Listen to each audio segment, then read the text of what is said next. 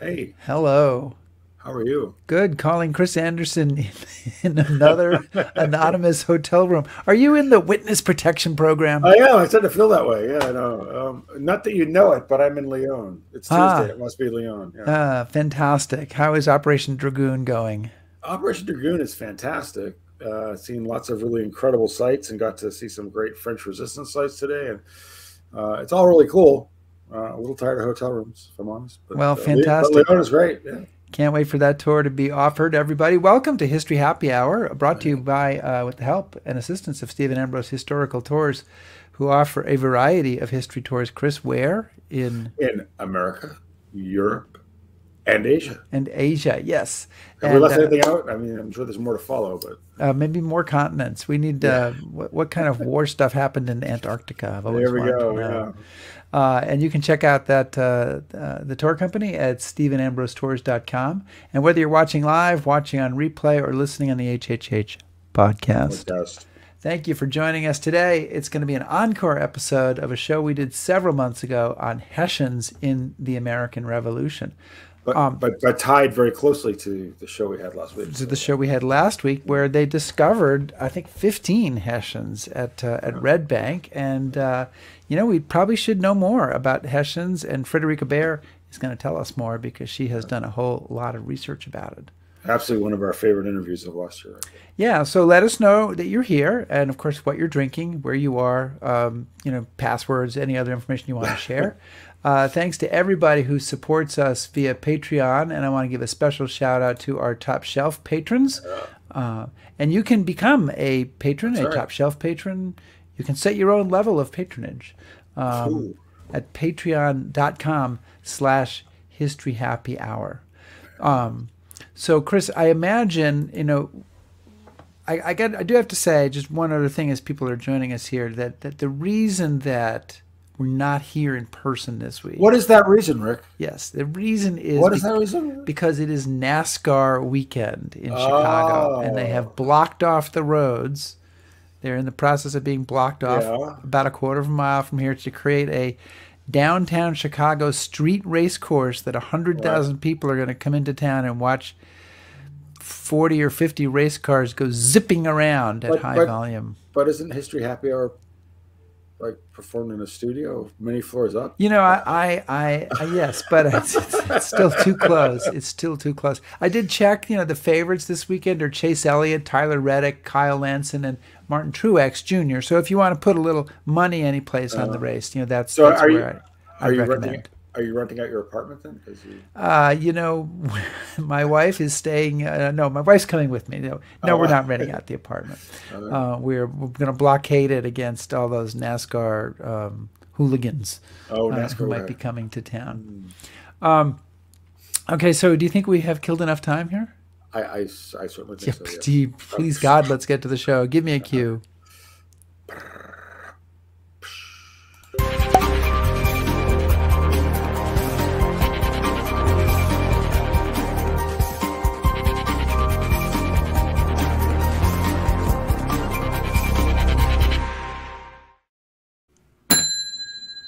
Bar is open. The bar is open, and Chris, what's on tap? Yeah. Um, well, I'm really excited about this uh, book about the Hessians. We're being joined uh, by Friederike Baer, and she is the Associate Professor of History in the division head for Arts and Humanities at Pennsylvania State University.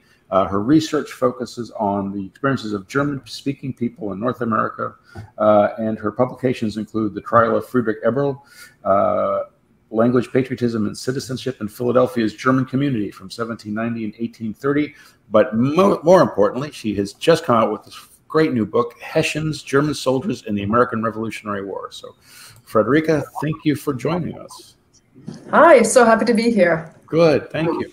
So, Friederike, I'm going to get I'm going to get kind of right in because I know we're a bit pressed, but um, back in July 1776, there's a group of men, uh, and they've gotten together, and they're just whining a, a lot about things that they just they're complaining about We're, all we're, sorts we're, we're right away. We're getting Right- right into it. okay. But uh, as they're drafting what becomes the Declaration of Independence, they have a list of grievances about why King George is no longer fit to be king. And he says, amongst other things, that he is at this time transporting large armies of foreign mercenaries to complete the works of death, desolation, and tyranny already begun with circumstances of cruelty and perfidy scarcely parallel in the most barbarous ages and totally unworthy the head of the head of a civilized nation. So that tends to be the impression that's been passed down uh, of Hessians. What little people know is that they're just evil mercenaries sent to wreak destruction. Um, how much? Wh- wh- where does this kind of false narrative come from? I know at the time, how does it sustain itself for so long? Because obviously, in this book, you paint a much different picture. Yeah, that's a that's an, a good question. I think that um, as your as the the line from the Declaration of Independence indicates, the uh, patriots were essentially using uh, the king's decision to hire foreigners, specifically Germans, in the war in the war against its his own subjects, um, as a tool really to um, support independence and ultimately to um, you know encourage colonists to resist against um, this oppression Right. And so the um, the Patriots very intentionally, actively um, painted a picture of these German soldiers as mercenaries, as cruel, as being hired by the king really to do his dirty work. And they started doing that before the first German soldiers set foot on American soil. So it was part of, I would say, their propaganda, really, um, before the, the first Amer- the, the, first Germans even arrived. And then it continues. This narrative continues, especially through the fall of 76. Mm-hmm. It gets changed somewhat after Trenton, but um, it's really remained with us. I mean, the references, mm-hmm. the reference to the Germans as mercenary, which is it's not the correct label, is is very telling. Mercenaries, you know, this idea that individuals kind of going to war for foreign power out of greed for personal gain. Yeah. It really doesn't describe them accurately, but that's the image that's been with us since 76. Yeah. So, about 30,000 soldiers from Germany, under their own officers and commanders, are uh, fighting with the British Army in North America. Mm-hmm. Who are they? And why did the British choose to rely so strongly on these? Uh, I'll use a phrase that you used these rental armies for this war. Yeah, so it, it becomes very clear early on, um, already in 75, basically, that the British do not have enough soldiers in North America to put down the rebellion. It also ter- is pretty clear early on that the, the British will not be able to raise a sufficient number of troops in England or other parts of the empire. So they're doing what they've done uh, for about a century already, uh, namely turn to foreign rulers to hire soldiers. So this is nothing new. Um, this is something that uh, Britain had done before. And the German uh, territories, for the most part, that enter into these agreements had already done this in the past as well. So the practice was generally accepted throughout Europe. Um, they go to, uh, in the fall of 76, um, the king sends an emissary to various uh, German courts. We should, of course, I guess, remind everyone that Germany does not exist as a nation. Um, the Holy Roman Empire is uh, divided into hundreds of small territories, mostly German speaking, and the six territories that ultimately decide to hire out soldiers are part of the Holy Roman Empire couple of these rulers had already offered troops. Um, that as soon as they knew oh, there's a war going on, they're going to be asking, they already offered troops. Um, so the emissary, his name is William Fawcett, he goes first to Braunschweig, then to Kassel and other territories, and negotiates for soldiers. Um, and uh, ultimately, it, it, as I mentioned, it's six territories. Um, Hessen Kassel um, rented out approximately 20,000 troops Hessen-Hanau, at the time ruled by the hereditary Prince of Hessen, rented out uh, perhaps 2,500. Um, the others come from Braunschweig, Wolfenbüttel, Anhalt-Zerbst, um, Waldeck, and um, Ansbach-Bayreuth. Um, so the range, the, the, numbers vary widely. 1,200 total or so from Waldeck to 20,000 plus from Hessen-Kassel. And because the, so many came from Hessen, they're collectively known as Hessians although they're really coming from all kinds of different places throughout the Holy Roman Empire. So it is really the king needs soldiers, and this seemed to be a convenient way to get uh, trained, outfitted men across the Atlantic quickly in time for a first campaign in the summer of 76. So, so Frederick, one of the things that I found really interesting in the book um, that I'd like you to kind of expand on is your definition, or, or I shouldn't say your definition, the definition at the time of what a mercenary was, right? I mean, because you make the very interesting point that there are a lot more mercenaries involved in the war and than people think.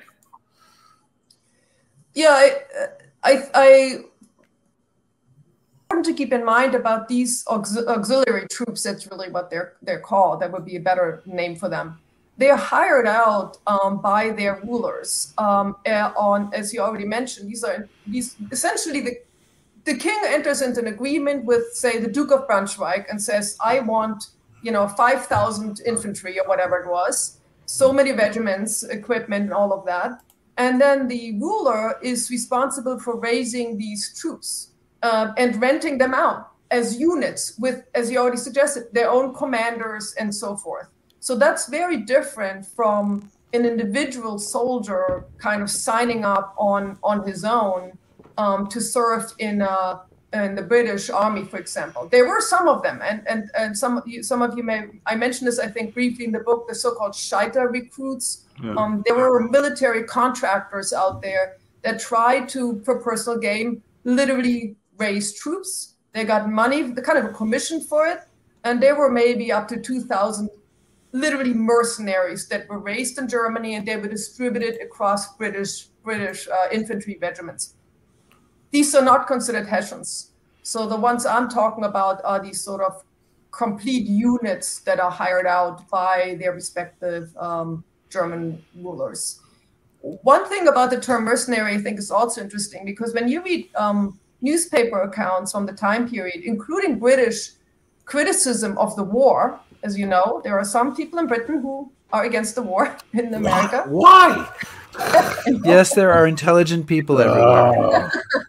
and uh, so when you read their when you read their accounts, uh, they're referring to soldiers that fight in America generally, often as mercenary. It's it's kind of a slur. It's like you know these people are not fighting fighting kind of a noble war for a just cause. They're fighting because to oppress others. So the term is used um, for propaganda purposes in, in different ways throughout this conflict. But yeah, one of the great things that's interesting about the revolution is is is I mean, there, there's a whole book to be had, probably has been written, probably several, about sort of the uses of propaganda by both sides, the constant yes. propaganda war that's going on. But I wanted to pick up, and, and eventually we'll get to what happens when the Hessians and non-Hessians get to uh, get to these shores. But I wanted to pick up on one thing you mentioned, which is that uh, it, it was also the use of these soldiers in America. Obviously, the Americans, as Chris pointed out from reading from the Declaration of Independence, made a big deal out of it. But there were people in Britain as well who uh, uh, sort of thought were kind of shocked that the British government is hiring, you know, foreigners to uh, come and battle its own subjects. Yes. Oh, absolutely. It you know the the opposition in Britain, which again is quite sizable, really seizes on, on this uh, and, and, and attacks in Parliament and in the press as well.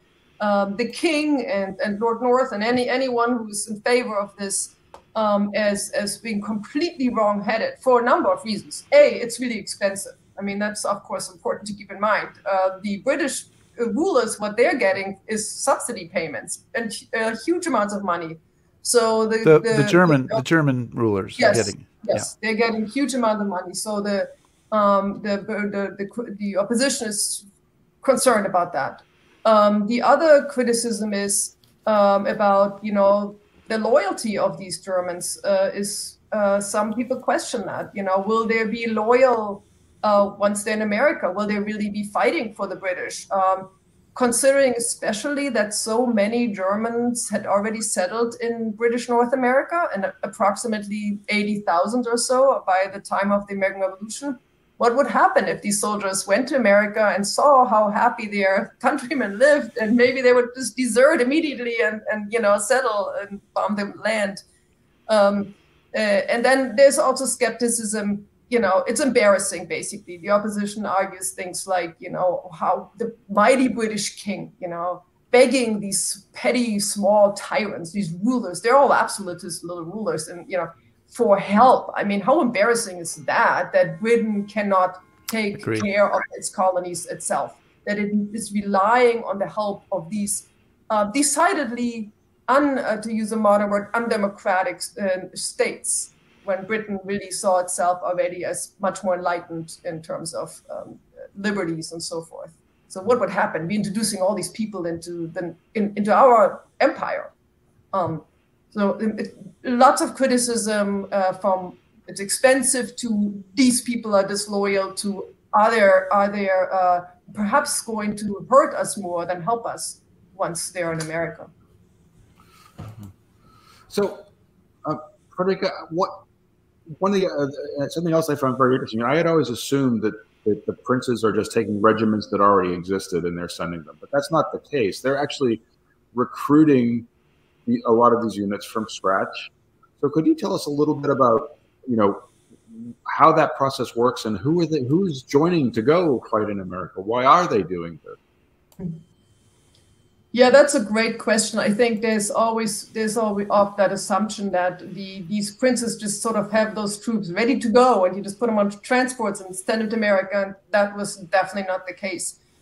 Now they all, of course, um, had um, veterans and they had soldiers and they, they wanted to have experienced soldiers in all of these regiments and of the officer corps or two of course you want experienced leaders uh, to fill these kind of positions but to really fill the regiments they all had to rely on raising fresh recruits um, we don't have drafts the way we have in a modern sense um, very generally speaking, these territories used kind of conscription lists. So uh, you know, different regions, uh, uh, regional officials had lists of young men um, that were eligible in terms of age, perhaps, and physical fitness that could potentially be recruited.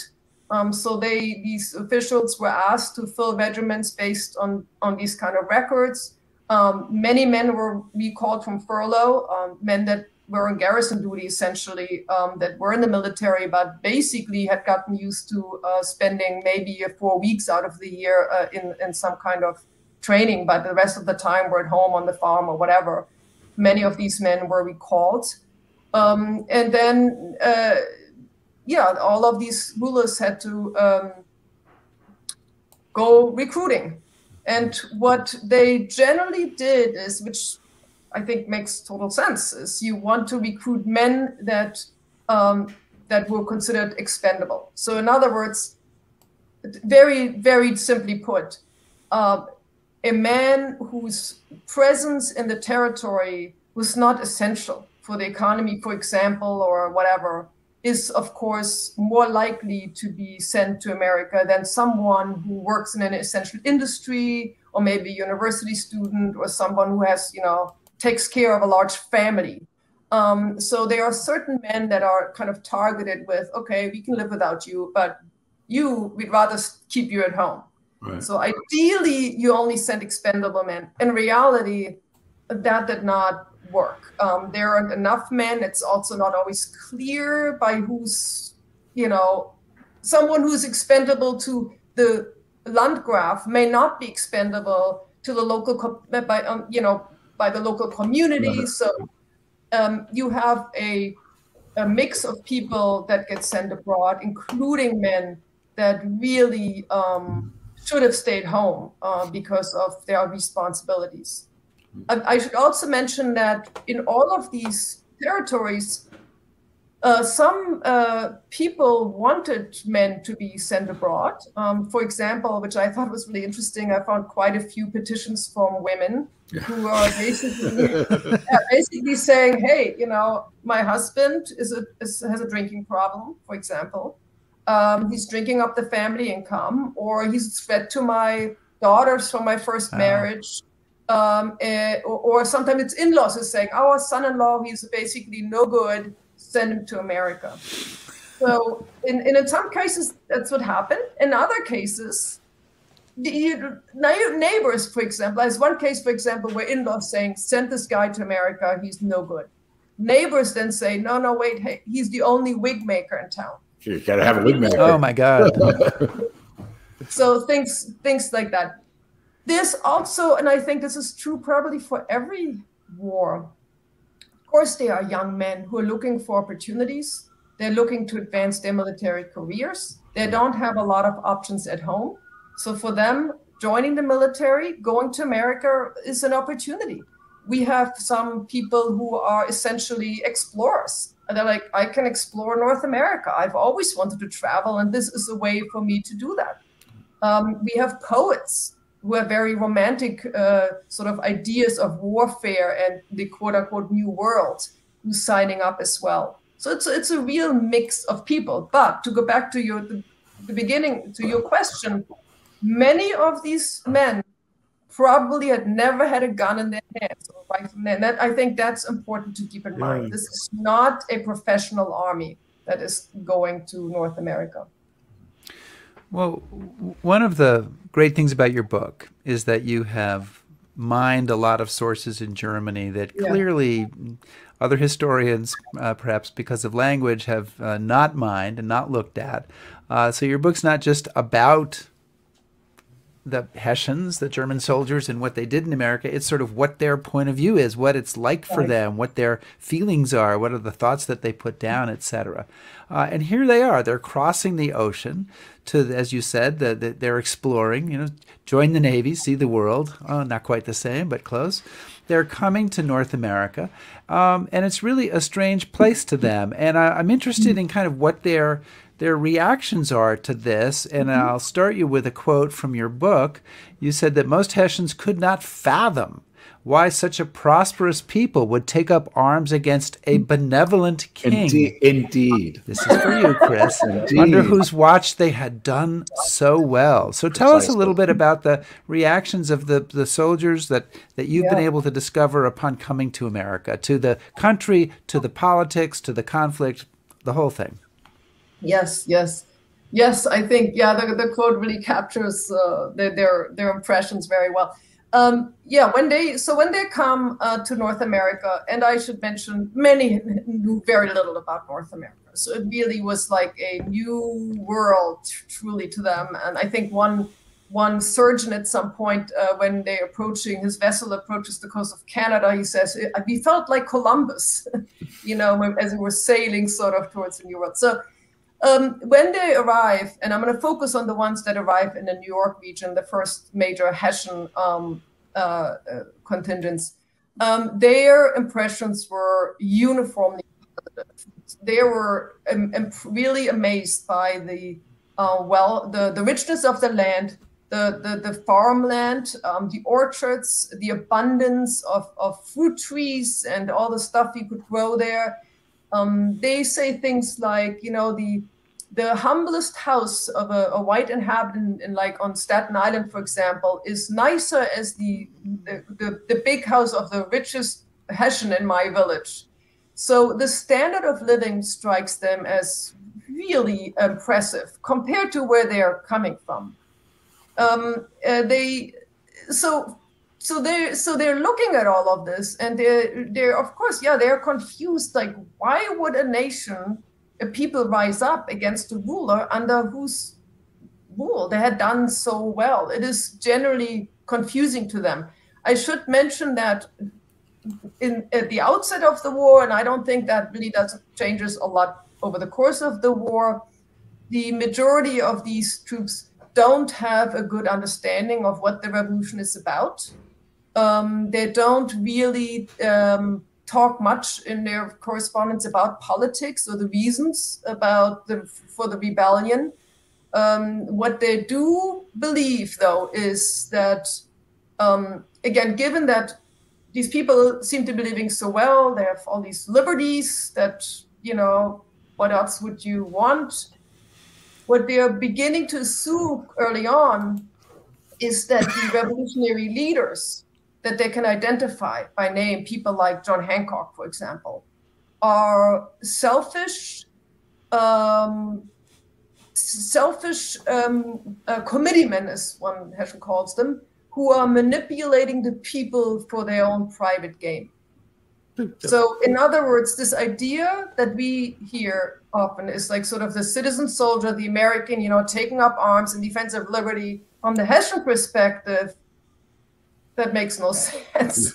they have all the liberty already. So, but they're they're fighting really because they're being deluded by a handful of politicians. One thing that over the course of the war reinforces this idea is the destruction that they see.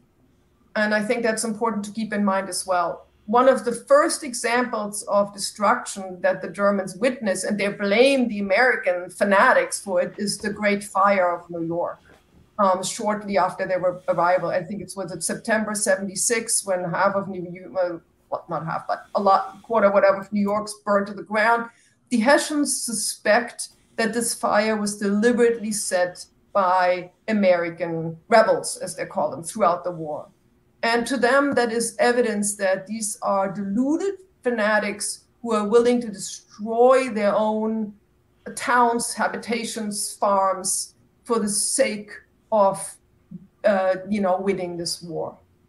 Um, so they're not essentially rational people, uh, well, is what they assume you know, the other thing that I, I found well, no comment on that. Come on, no. Uh, no, I'm gonna, you're, you're really no. walking the line there. You're being very I'm careful. Trying, I am. I, I know how hard this is for you.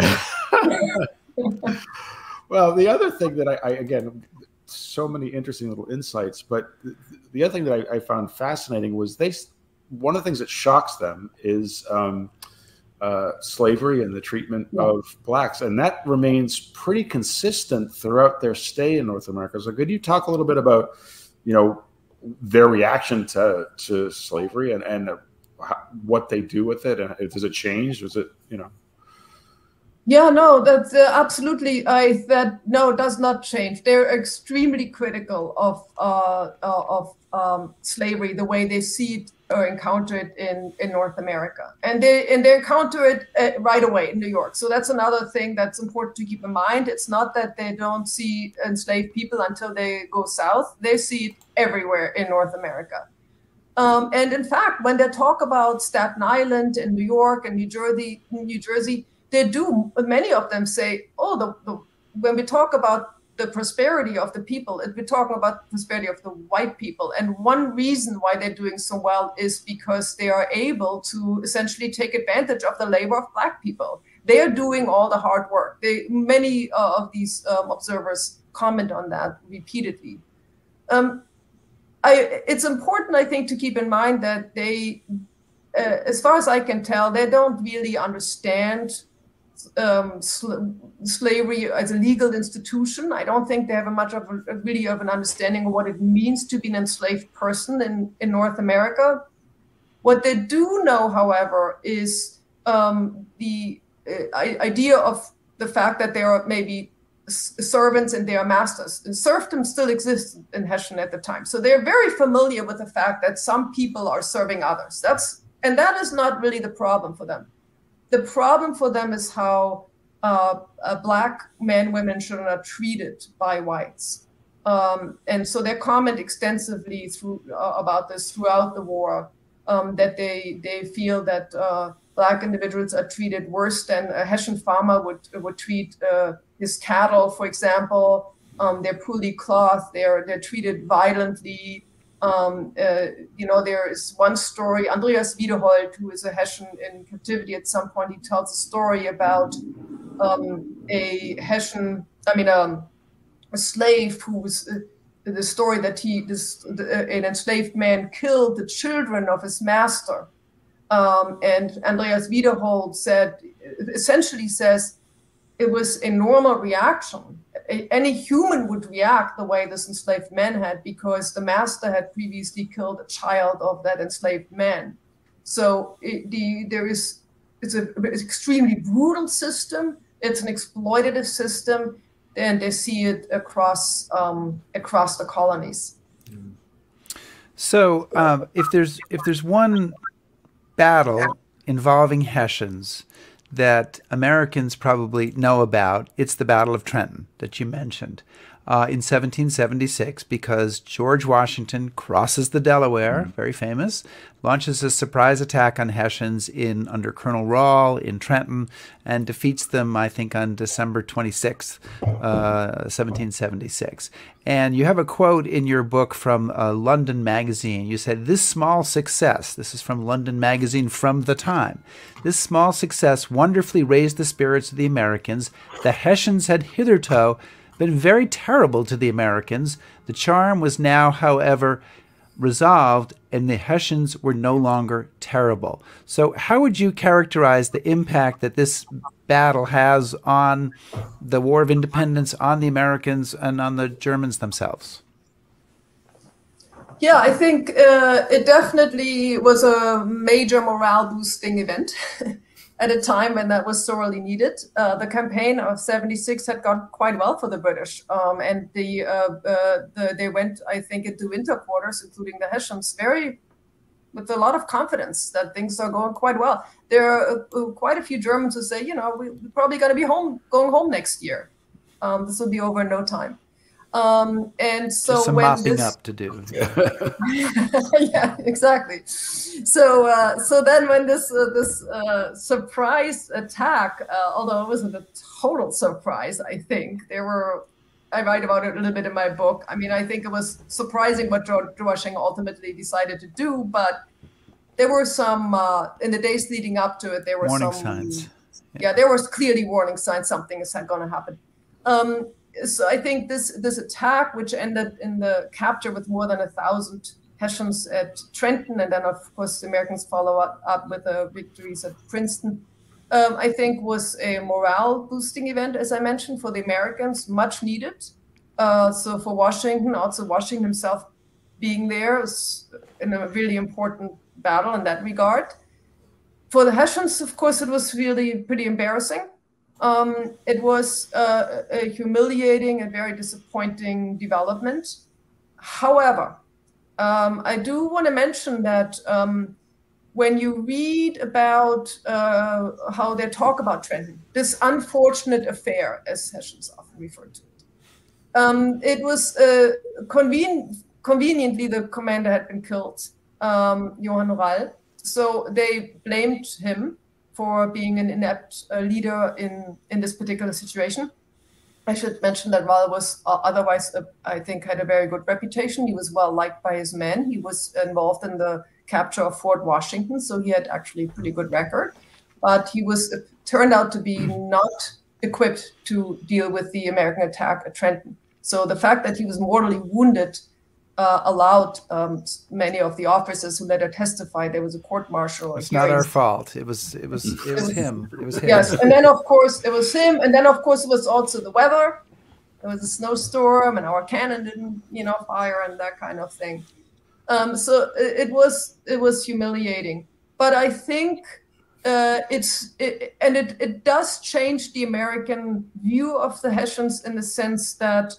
Um, yes, they're no longer these horrible, cruel, monstrous mercenaries, but they're in fact um, kind of pitiful almost. We need to feel sorry for them. And almost immediately, you know, when these Trenton prisoners get marched through Washington, uh, through Philadelphia, Washington instructs people to welcome them and to treat them well because after all they are they too are the, the innocent victims of tyrannical rulers so uh, the, the, the, the perspective shift to some extent. The Hessians are, I think, from the Hessian perspective, the battle that has a much more serious impact on their confidence is Red Bank, which is in the fall of 1777. Um, Trenton, you can almost write off, you know, I mean, it's a snowstorm. It's, I mean, in winter quarters. I mean, Christmas. I mean, I'm Naturally. You know, I mean, come on, you know. Right. Uh, overwhelming American. I mean, you know, there are all these. You Crazy. can rationalize it almost, but uh, then fast forward to October '77, and you have Red Bank, where an uh, almost exclusively German force attacks this relatively small stronghold in New Jersey, which ends in total disaster. that's a much more devastating experience in terms of their confidence. And then on top of that, October 77 coincides with Saratoga. Saratoga. Yeah. And then the French will soon enter the war. So I think, to, from my perspective, Red Bank is one of the underrated, underappreciated battles that involves the Hessians. Uh, but yes, but of course, Trenton is important. Uh, Washington is there, and it does uh, it does bolster American morale for sure. So Friederike, I you know I I think I had no idea really until I read the book, and most Americans don't. But the the Hessian participation is massive. I mean, I'm picking up yeah. on what you, we suck. We always think about Trenton. You mentioned Red Bank, but there are 30,000 Hessians deployed, and it's safe to say from 1776 till the end of the war, just about every engagement there are Hessians present. How important is this contingent to Britain's ability to wage war and to their war effort? I, I, it's been estimated that uh, uh, approximately a third of the British regular army strength was German, uh, you know, by, by 1780, 81. So I think there's a historian, Stephen Conway, who's written a lot about this. And I think uh, that uh, that alone is substantial. I think it allowed Britain to fight this war for as long as they did. Uh, I, you know, I think um, I, I, think they gave uh, the, the, presence, uh, the participation of these these troops gave gave Britain a chance to actually potentially win this. Mm-hmm. You know, one thing that that Chris, uh, just listening to your question and responding it, it you know it it also it reduces the casualty rolls that come right. back to London and Greenwich and Birmingham and you know wherever in England. So you know you can you can in a way it, it allows the I suppose it allows the government to kind of continue going along. Whereas if, if you had one third more casualties, it would be that much harder to convince your citizens to keep going. Yeah. Yeah. And, and, and what were the, what was the impression of? We know obviously that the Americans were a little disdainful, shall we say, of the Hessians when they arrived. What was the impression of their British comrades in arms to this German force? Were they favorable? Did they work well together? Was it adversarial? Uh, that, that's a really good question. I, I didn't go that much into British records, uh, you know, soldiers commenting on the, the presence of Germans in, you know, they fight. They're always fight, often fight side by side. Um, there is some evidence, at least in the, in the German parts, that there is there's some uh, uh, there's some tension, some resentment, especially amongst German officers, because um, although the German units were commanded by German officers and they have German generals and all that, um, the highest ranking officer was always a British, with one or two exceptions. Um, and then when they were had to uh, serve together, there's the language barrier. I think that's probably the biggest issue that really bothers some of these uh, officers who will be very, very frustrated with um, you know, the inability to understand British commands. They feel like often when we, the, the men are exercised together, uh, it's it's using British commands and, and British drum rolls or whatever, and so the um, Germans are often frustrated with the inability to understand uh, what's being said, um, and that in the, that in turn uh, they feel um, hinders their uh, chances of of advancement um, and and so forth. Um, so there is there's some there's you know I think there's more more tension between Hessians and loyalists who mm-hmm. are recruited in America, partly because they're always very suspicious of their loyalty. Uh, their loyalty, yeah. yeah. Um, I think that's a more of a concern for them, um, fighting alongside loyalists and also fighting alongside Native Americans, which is another yeah. community that they're ambivalent about. Yeah.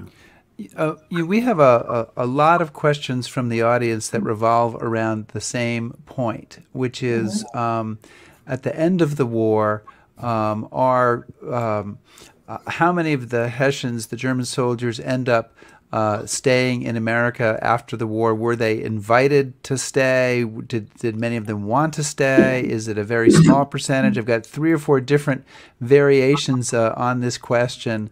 Uh, and so maybe you could, I know you touch on that in the book, maybe you could touch on that now.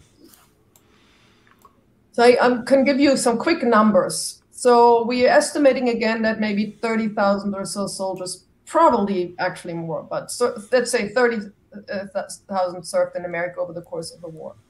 Around 7,500 or so died um, doing the war in America, 1,200 of those in battle. So as, as was always the case, this in case in the 18th century wars, the greatest killer is disease. Most of them die of disease. So 23,000 or so survived. Of those, we estimate that maybe five or 6,000 decided to stay in, stayed in North America. Um, either they left already during the war or um, in 1783 when the Corps was getting ready to evacuate at least half of them actually went to Canada.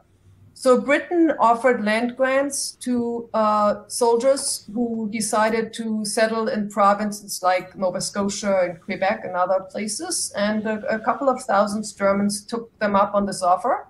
Keep in mind that several thousand Germans spent the entire war in Canada uh, also something we tend to forget. Um, not all German soldiers went with Burgoyne in 76 to Saratoga and were captured.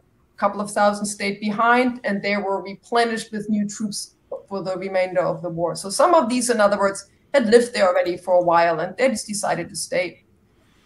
But then there may be 2,500 or so that stayed in uh, what is what then became the United States. Um, during the war, the Americans offered land and liberty and usually also a couple of farm animals to any German soldiers soldier who deserted. And there's certainly some who took took them up on that offer. Uh, not as many as the Americans, I think, would have hoped. But then when the war is over, especially after Yorktown, when things are winding down, and when we still have several thousand uh, German troops uh, uh in captivity, uh, they're prisoners of war when they are learning that the war is coming to an end and they're getting ready to be sent back to, to uh, Germany, some of them decide just not to report back to New York or wherever they're asked to, to report back to. They're officially considered deserters, um, but it doesn't look like the officials or the officers made a lot of, uh, you know, tried very hard to retrieve them. All of the one thing I just want to mention here all of, uh, or not all of them, but several of the, these subsidy treaties included clauses that prohibited soldiers to remain in America without permission. The treaties so, that the German principalities signed with England yes. to supply the soldiers to them. Yes, because there was some concern that hey, you know, some some of these Germans might think, hey, free passage to America. Right. So they were actually, and also the German, all of the German rulers are very concerned about depopulating, especially the countryside, you know, and sending too many young men abroad. So we, we basically want them back. Um, so uh, not everyone who wanted to stay in America got to stay in America. I think that's important to keep in mind. At the same time, not everyone who wanted to return to Germany got to return to Germany because, especially men who had been injured, perhaps, or who had been uh, gotten into trouble, had some sort of infraction doing military service. Um, in some in, in, some cases were to be denied return passes to Germany because they were considered to be essentially burdens once they returned. So we have some people who probably stayed here who would have preferred to go back. Um, but yeah, 2,500 to 3,000 or so from all we can, my book, that would have been probably volume two to figure out what happened to them. Right. Um, but from what we can tell, I think they were welcomed into, they're settled in predominantly German American communities, Maryland, Pennsylvania, places like that. Again, some had been prisoners of war in some of these places. They married American women. From what I can tell, they were not uh, treated with any kind of hostility when they decided to, to stay behind. Yeah, I, you know, we're gonna uh, we're gonna give Chris Anderson one more question, and then we're just gonna get rid off the show. we, we we should tell people before they think that he's left in a huff. that he's trying to catch an airplane because for whatever reason he doesn't want to stay in New Orleans. He wants to go back to his Go home London. in London uh, under the tutelage of the king and His uh, most beneficent Majesty Charles. and yes. you know be eating his fish and chips and doing all the that English stuff that they do in England. And so, Chris, ask your question, and then you made. I don't know if I've never tried to handle this show by myself. I, you're in good I am. I am petrified. But you know what? We're gonna let you ask your question and then let you go. So, Friederike, one of the things, again, because all these little insights that are just really compelling in the book, but given what we talked about earlier, that, you know, I didn't know this, but these units were largely recruited for the war. So, in a way, you could say that they're kind of a, like a it's not a citizen army, but they're ta they're not professional in the sense that they are used to being sent away. Right. So, if you take thirty thousand young men out of what are arguably pretty small communities in Germany and send them away, what is the impact of this movement of people on these communities? Are they following the war? Do they suffer? Do they gain economically? What is what's happening back home? Yeah. So uh, there's the different ways to uh, answer this. Uh, one very general consequence of all of this is that uh, German-speaking Europeans are learning a lot more about North America than ever before. Um, so that's a, one immediate res- response, essentially. Suddenly, all these Germans are going to North America. Suddenly, periodicals are beginning to report about what's happening. Soldiers are also writing letters and accounts um, for public consumptions. In other words, they're sent back home during the war to be published, in sometimes in serialized uh, form. So people learning more about North America. So that's one immediate consequence. Now, the communities themselves, many of them really uh, are hit uh, hard uh, by the departure of uh, so many men, or essentially, in many cases, breadwinners. Uh, and I've come across uh, thick files of of uh, letters, petitions, um, reports from individuals, family members, but also local officials who are basically saying, "Here is this this this woman with her three children. The man was was sent abroad, and here is the father who had relied on his son, his only son, for, to to run the mill or whatever. Here is this this mother who can no longer, you know, keep up the shop." So there is definitely a real economic hardship for many of these families. The rulers uh, tried to help by offering things like firewood, for example, or relieving them of some of the what we call tax burdens. Um, uh, but there's definitely um, there's definitely economic hardship. At the same time, the recruitment of the all these troops, they all needed stuff. They need uniforms. They need, uh, you know, an incredible amount of, of things that needed to be manufactured and sold and transported. So there are also a lot of people throughout the empire who are benefiting from all of this because they are. It's bit more, as you know, good business for some people. Mm. Um, so there is that side to it as well. Absolutely. Yeah. Frederick, buy the book, everybody. It's wonderful. Thank you so Thank much. Chris. Good luck. Thank you. Goodbye, Chris. All right. Everybody else, please stay. Yeah, please stay. I'll stay. Good. Well, I'm glad that you'll stay because if I'm ta- talking all by myself, it's going to be terribly problematic, and uh, we don't really want to have that happen. There's so much to ask you about, um, and we have more questions coming in, but I would like to ask you to tell us a little bit about one of my favorite characters of the American uh, Revolution, someone you share a name with, uh, Baroness Riedesel, uh, Oh. Frederica Riedesel. She is uh, married to a German officer. Uh, she makes this amazing journey to the United States. She's determined to get to the United States, to be, Right. which isn't the United States yet. Of course, she's not, Germany isn't Germany yet, and the United States isn't the United States yet, but to be with her husband. And so she ends up being, uh, he, and he is the commander of the Braunschweiger Jäger.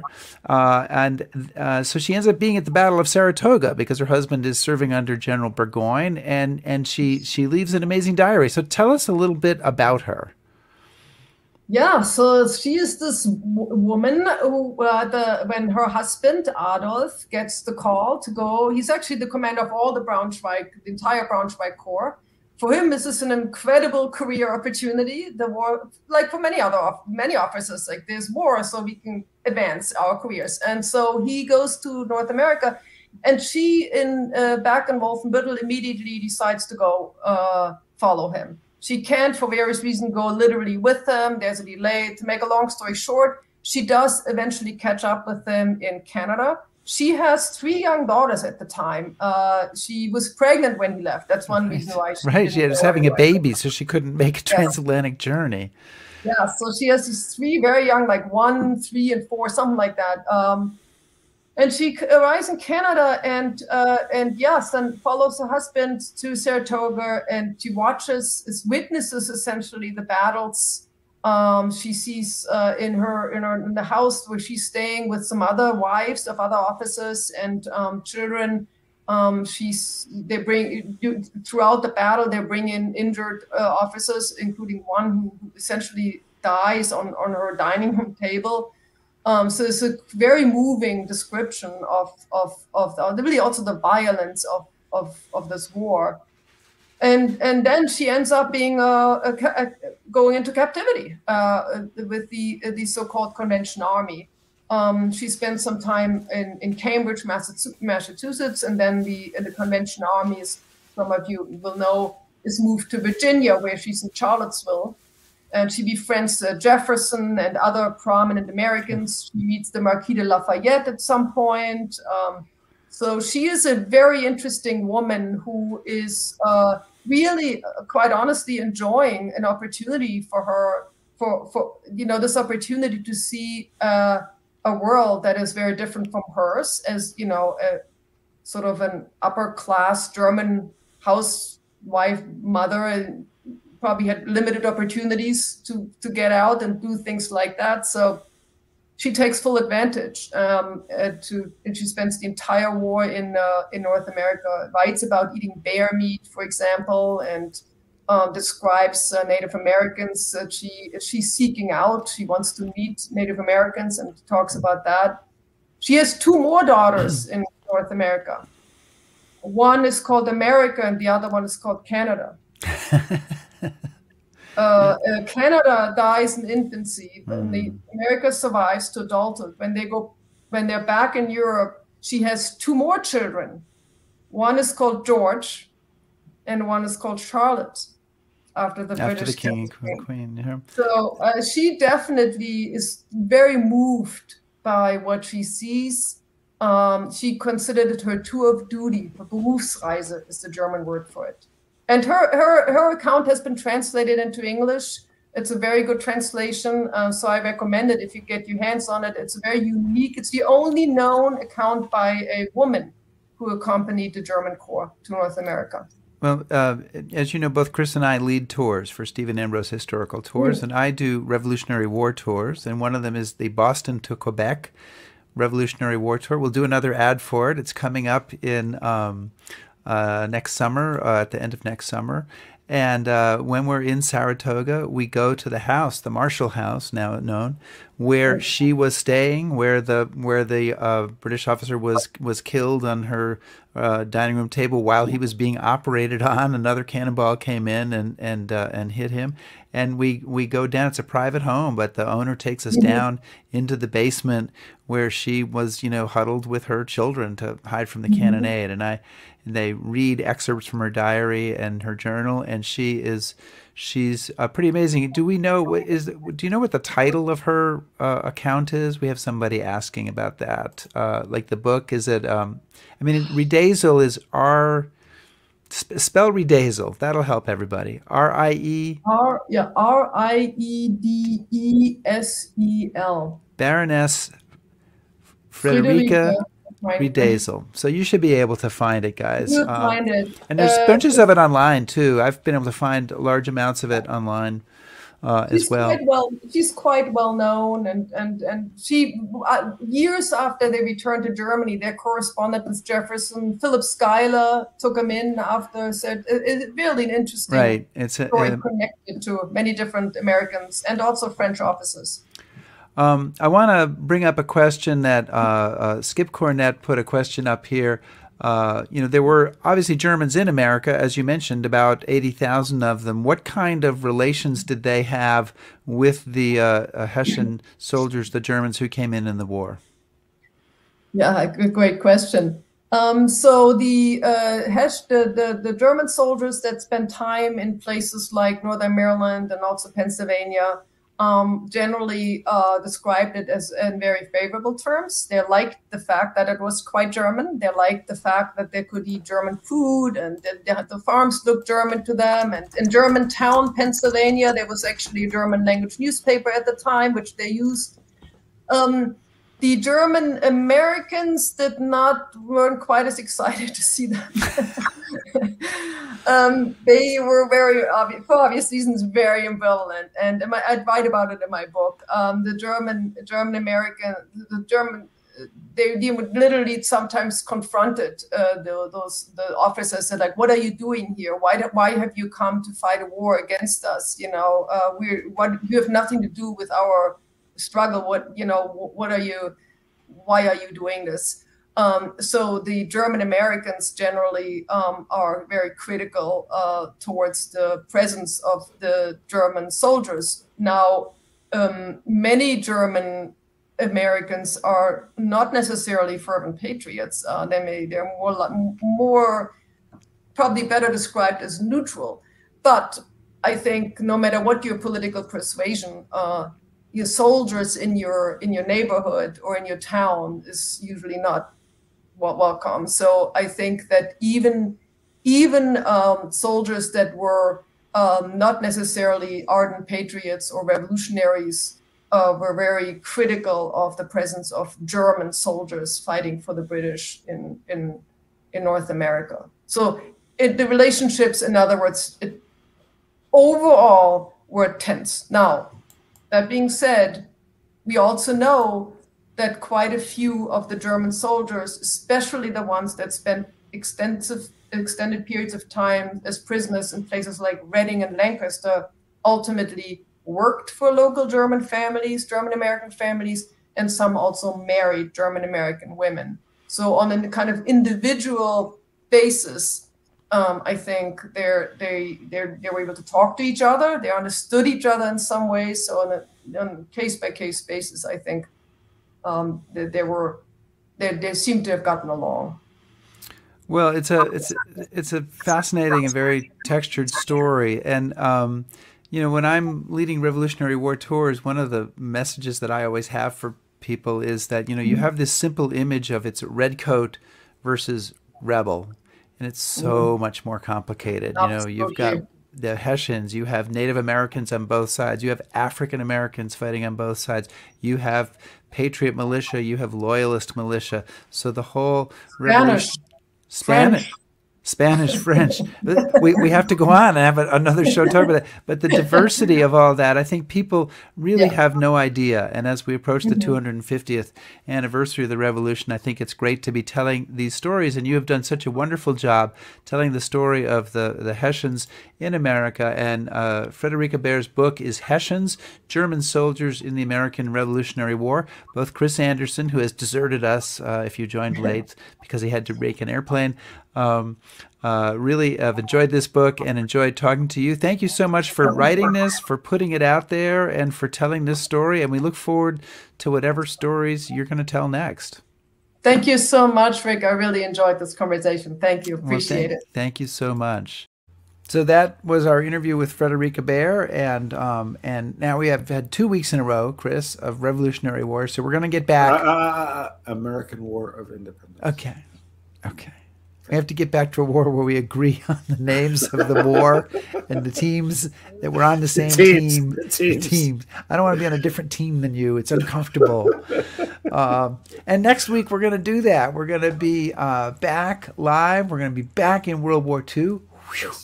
And we're going to be talking to uh, Halik Kochanski, who is the yes. author of uh, the book Resistance, the Underground War Against Hitler 1939, 1945. And you're familiar with uh, Halik's work, Chris. You're a yeah. fan, right? Yeah, I'm, I'm, a big fanboy because her book about uh, Poland and World War II is absolutely fantastic. And it's one I use every year to prepare for the Poland trip. So, a bit of a fanboy. And also, this trip the site inspection I'm doing on Operation Dragoon, whole lot of resistance stuff. Um, so uh, really excited to revisit. That'll that give you a new perspective Yeah. for, for that show. Yeah. And uh, and Max Hastings, who we frequently quote, but who has never appeared on History Happy Hour, Yeah, it's on his list though. uh, uh, wrote that this is the most comprehensive and best account of resistance I have read. So, really looking forward. We had this show scheduled in May. She, she got ill; she couldn't do it. Really looking forward to doing this uh, this week. Absolutely. So please, guys, subscribe to us on YouTube. Follow Please. us on Please. Facebook. Please Please. shout at us on Twitter. Shout. Uh, listen to our podcast. Back us on Patreon and browse historyhappyhour.com. yes, please do that and be safe.